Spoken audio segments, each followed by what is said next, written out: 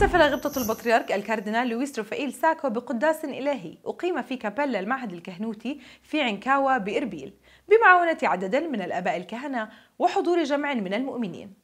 وفي عظته قال البطريرك ساكو يحاول كل إنسان أن يقدم صورة جميلة لذاته أمام الآخرين ويحميها بكل الطرق وأحيانا بعنف. وهذا ينجلي في مثل عرضه يسوع من خلال موقف شخصين. الأول في الريسي وهو شخص لا يرى إلا نفسه ويستعمل الدين لإظهار تفوقه وتراه يحلل ويحرم كما يشاء.